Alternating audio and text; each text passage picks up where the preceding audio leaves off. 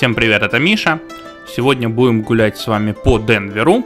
Ну и такая прогулка у нас будет полувиртуальная, поскольку, ну, записал видео я, собственно, когда гулял, а звук уже накладываю потом. Дело в том, что я был не один, мы разговаривали, ну и, соответственно, э, было не до комментирования происходящего вокруг. Ну да ладно.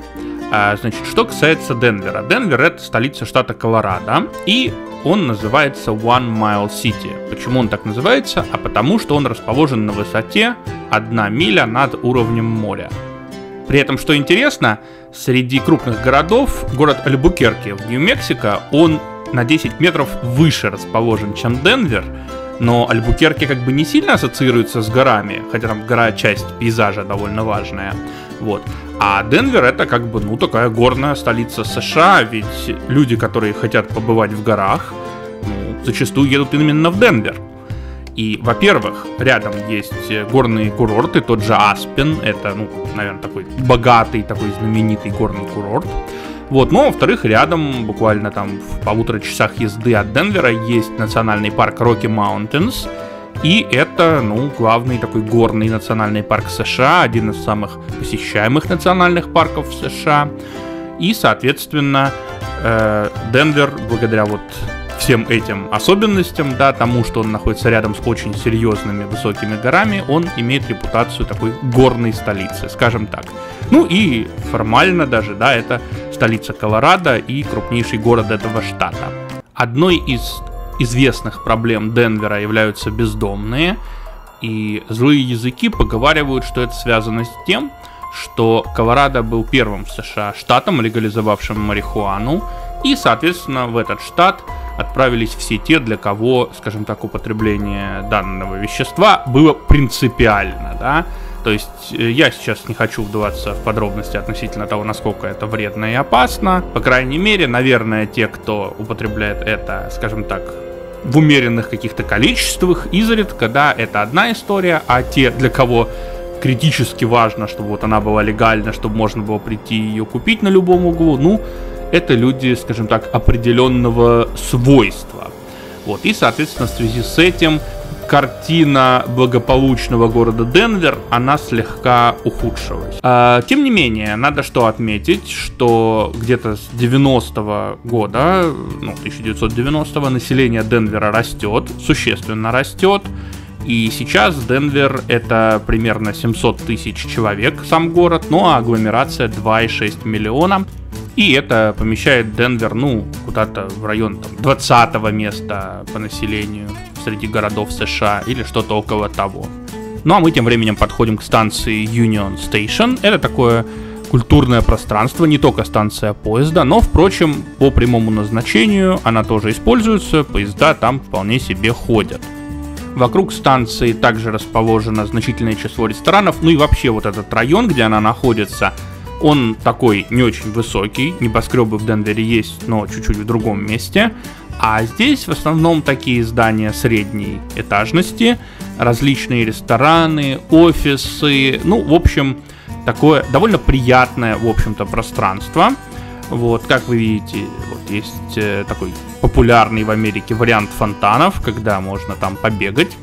Вот, поскольку в Денвере не так жарко, как в Далласе, там заразы, наверное, в таком фонтане потенциально меньше. Вот, есть велосипеды прокатные, различные эти скамеечки. В общем, люди могут вполне себе отдыхать в таком месте. Вот, как видите, стоят, значит, э, религиозные проповедники, миссионеры, наверное, это скорее не проповедники, предлагают а бесплатно там прийти и поизучать с ними Библию. Вот, забегая вперед, там не единственная религия, которая э, набирает, скажем так, сторонников последователей в Денвере на улицах, но до этого мы еще дойдем. Вот, ну и опять же, сбоку, вот видите, справа это ресторан, как бы на улице люди сидят. Э, кстати, мы так попали не очень удачно. В Денвере было реально жарко. Э, этого не должно было быть. А если что, значит, действие происходит в начале сентября. Вот. Э, кстати, смотрите, интересное здание. Вот такие какие-то вертикальные штуки на окнах сделаны я так и не понял, зачем. Никогда такого не видел. Если у вас есть мысли, зачем это и что это, пишите в комментарии. интересной особенностью Денвера, ну, можно сказать, уникальной среди больших американских городов, является демографический состав. Обычно в американских больших городах очень высокий процент населения это афроамериканцы. То есть там 30-40%, ну, наверное, чуть ли не минимум для большого города. Однако в Денвере этот процент куда ниже, всего 10% э, людей, которые здесь живут, это афроамериканцы. И, ну, есть города, допустим, тот же Эль-Пасо, да, где формально вообще практически все э, белые, но это как бы белые латиноамериканцы, да. А в Денвере порядка 50, даже больше 50% это белые, значит, американцы, не латиноамериканцы, ну вот где-то 30 это латиноамериканцы. Вот. А вот здесь, смотрите, интересная вещь, мусорка.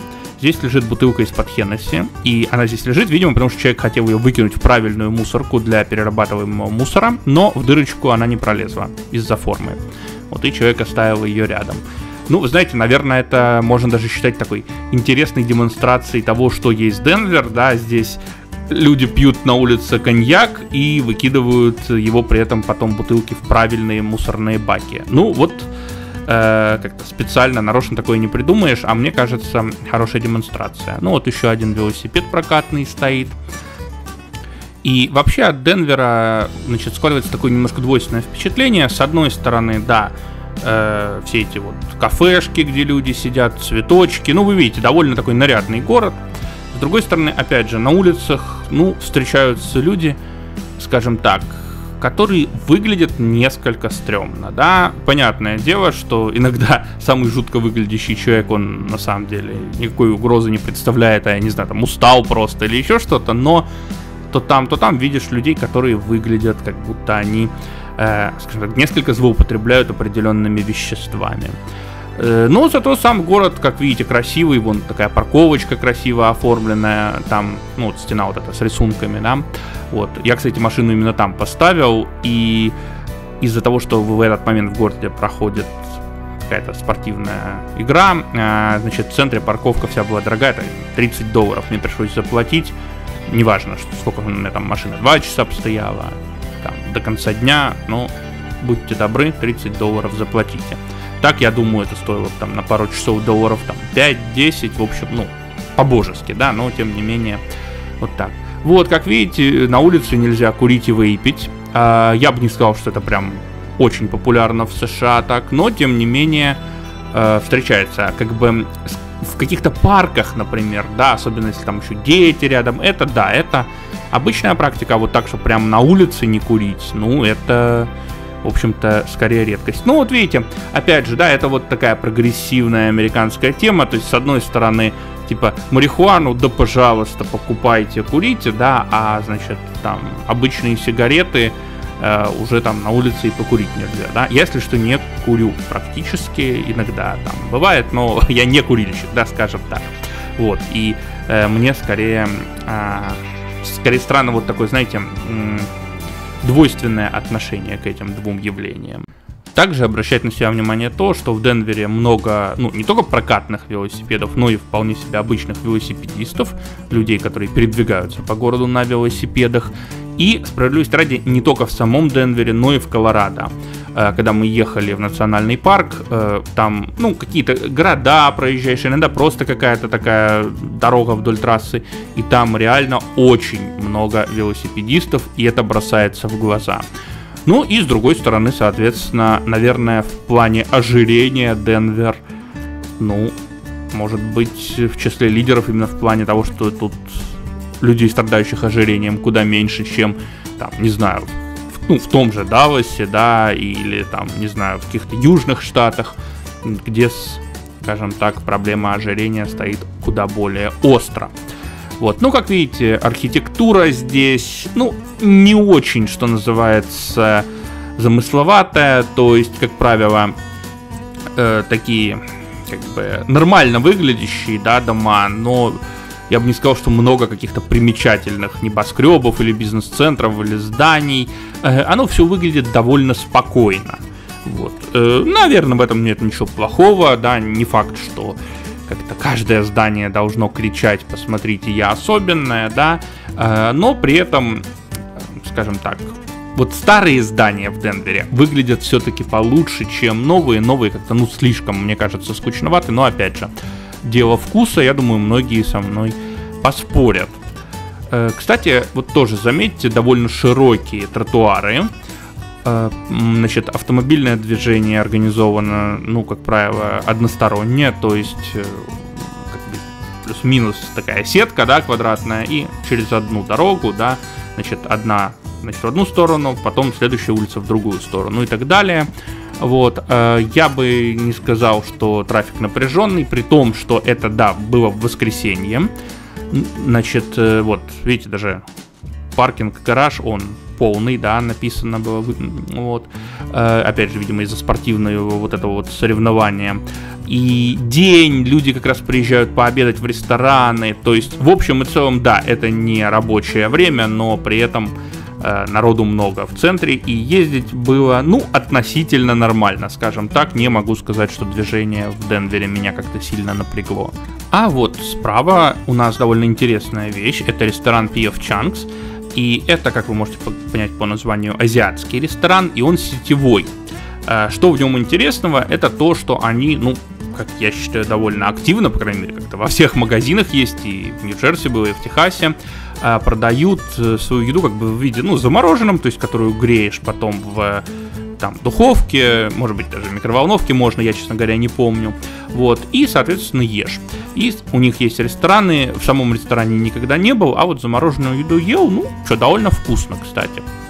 Ну и вот, как говорится, не только поесть, а еще и что-нибудь интересного можно посмотреть. Вот, пожалуйста, какая-то арт-галерея. Ну, понятно, небольшая, но тем не менее несмотря на вот эту вот проблему с бомжами, про которую я уже говорил, и опять же, считается, что бомжей много, считается, что как бы Денвер стал хуже, да, но все, как говорится, познается в сравнении, не сказать, что вот то, что я увидел, меня как-то сильно ужаснуло, и мусора здесь тоже я бы не сказал, что много на улицах, все довольно чисто.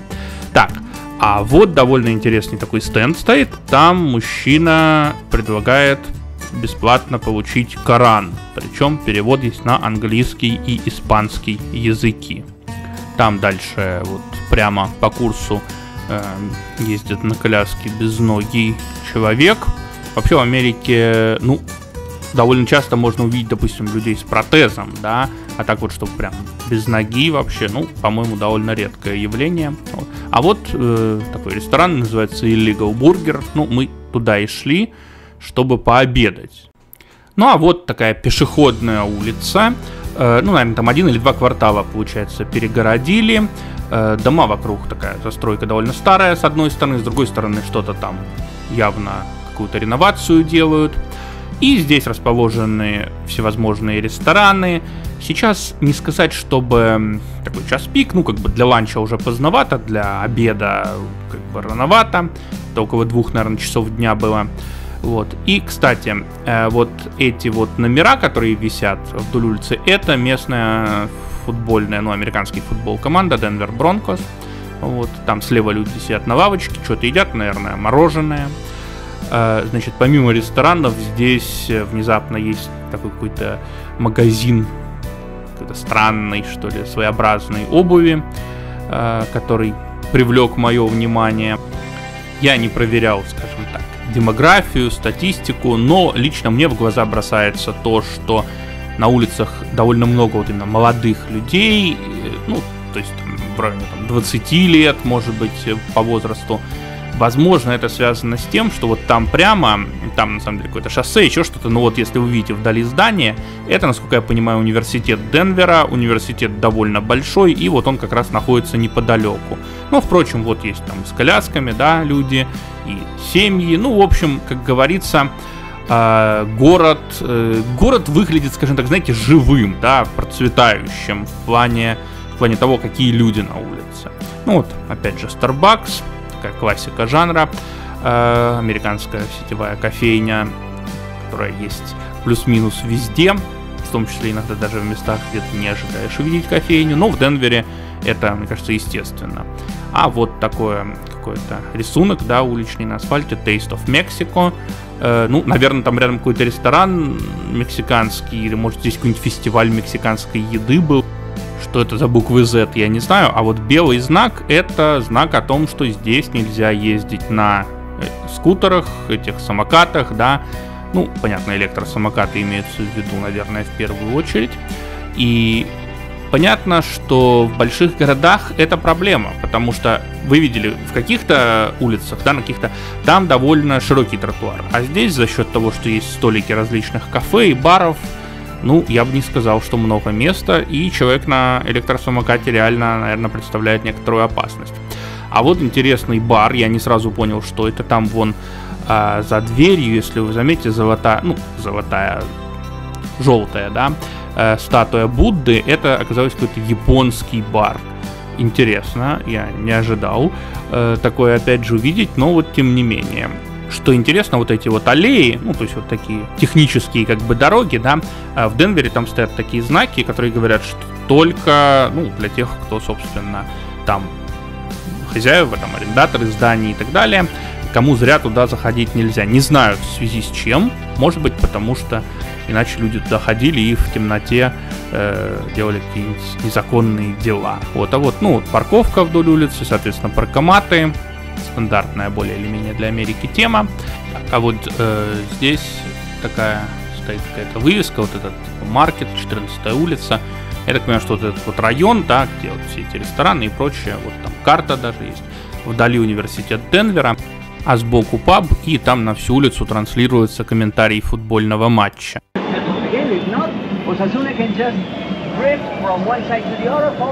На столбе интересная табличка, что, мол, законы о шуме здесь как бы требуется исполнять. А вот интересно, называется Висконсин Таверн заведение на той стороне улицы. Не знаю, вот интересно, как все, что не знаю, в Брянской области называть кафе Алтайский край звучит своеобразно и в целом, ну, не знаю, конечно, там э, какой-нибудь есть сетевое кафе Texas Roadhouse, да, ну, как техасская кухня, это техасская кухня, а Висконсин, он знаменит исключительно молочной продукцией, и я не уверен, что вот в этой таверне исключительно сыры и молоко. А вот, все-таки, если это таверна, там, наверное, что-нибудь там выпить и закусить скорее. А вот старая Subaru, ну и вообще Subaru в Колорадо очень много, потому что горы, снег, и, как говорится, здесь полный привод – это важная опция. Дальше у нас идет какой-то магазин мужской одежды, я так понимаю, что такое более молодежное. И что характерно, вот это вот Dry Cleaners – это химчистка. Ну вот, мне кажется, что из того магазина вот в эту вот химчистку одежду не носят, потому что стили, как говорится, немного разные. Худи вряд ли кто-то в химчистку понесет. А вот довольно какой-то интересный магазин. Там всякие масла, насколько я понимаю, продают. И, значит, приправы и все прочее. В общем, прям вот такой отдельный магазин для масел, специй и так далее. Так, справа у нас парковка. Написано, значит, 16 долларов. Я так понимаю, за день знал бы, говорится, сэкономил бы 14 долларов. Вот. Но, с другой стороны, не люблю я в эти гаражи заезжать, особенно на большой машине, а я на Chevrolet Tahoe там ездил. Вот, э, значит, «Красная корова» — это стейкхаус сетевой, э, Удивительно, никогда их раньше не видел, а за два дня до поездки в Колорадо увидел такой в Далласе, когда снимал там видео про район Аптаун. Стейкхаус очень дорогой, там э, самый дешевый стейк, New York strip 69 долларов, а там под сотню уже более серьезные стейки. Вот, но, как говорится, видимо, спрос есть, люди, видите, сидят, обедают. Это дорогая цена, безусловно, как бы там стейк можно и в два раза дешевле купить без особых проблем в США в ресторане. Вот, а вот э, вообще это здание, это апартмент-комплекс, вот это вот его типа такой стенд небольшой, да, какой-то рекламный. Вот. И я посмотрел, стоит э, дву, квартира с двумя спальнями в месяц 3438 долларов. Там ну, в общем-то, не дешево. С другой стороны, центр города. Такое место явно, э, скажем так, ну, которое не должно быть сильно дешевым. Но, в общем, сумма приличная, сумма приличная, я вам скажу.